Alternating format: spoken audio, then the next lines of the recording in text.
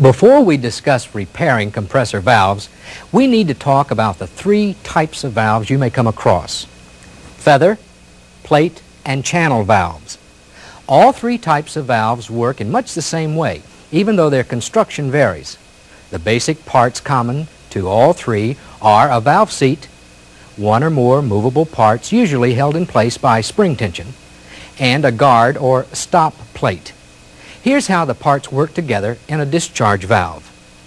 As the piston compresses air in the cylinder, the pressure of the air rises, overcoming the spring tension and the air pressure in the discharge piping. When the piston reverses its stroke, the air pressure in the discharge piping and the spring tension in the valve overcome the air pressure in the cylinder. This pressure difference closes the valve, preventing air from returning to the cylinder. Keep in mind what we just saw was the operation of a discharge valve, but inlet valves work identically. Their operation is simply the opposite of the discharge valve. Well, now that you know basically how compressor valves work, let's look closer at each type and explain how it works in greater detail. We'll start with the feather valve. Now this example is two valves in one, an inlet valve and a discharge valve.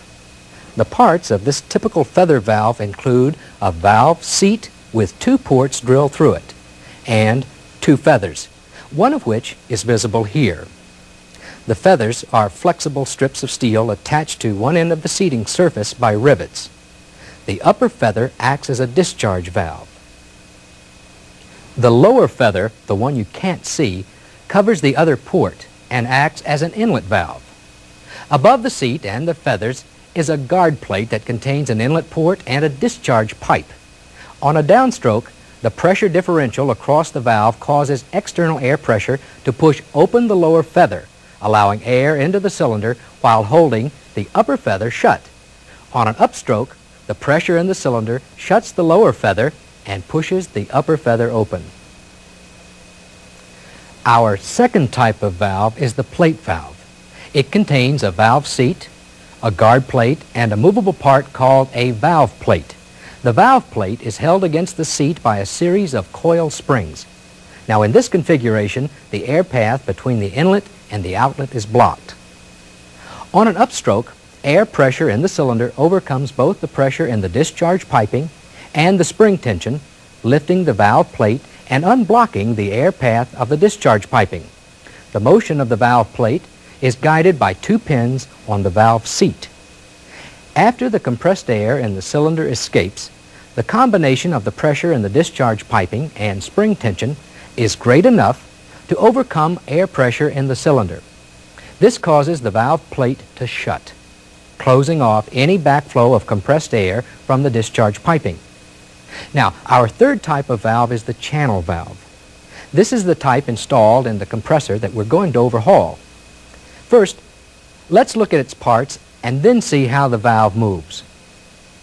A channel valve is made up of three basic components. A valve seat, a stop plate, and the movable parts, the channels.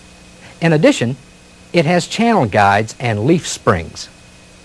The channel in a channel valve acts like the feathers or valve plates in other valves. The channel sits on the valve seat and blocks the air path between the inlet and the outlet. A leaf spring holds the channel against the valve seat. The stop plate has raised areas that hold the leaf spring against the channel. The channel guide holds the channels and directs its up and down motion. Before we can fully understand how this channel valve moves, we need to look at exactly how the valve is positioned in the casing. There are two parts which hold the valve in place. The inner cover which screws to the valve, and an outer cover that bolts to the cylinder's casing. The outer cover has a bolt which is threaded through the cover and presses on the inner cover to hold the valve in place. There's also a nut on the bolt, which prevents air from leaking out around the bolt. Since this is a discharge valve, the valve seat faces toward the cylinder. The seat of an inlet valve faces away from the cylinder. Now, if you remember this point about the orientation of the seat, You'll never make the mistake of reversing channel-type discharge and inlet valves.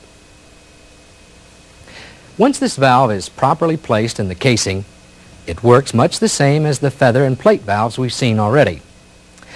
On an upstroke, the piston reduces the volume in the cylinder, compressing the air until its pressure is greater than the pressure in the discharge piping. Pressure in the cylinder then overcomes the discharge piping pressure and the spring tension, lifting the channel and allowing compressed air to flow out of the cylinder and into the discharge piping. After the air in the cylinder escapes, the pressure in the cylinder equals the pressure in the discharge piping and the channel closes. Well, now that we've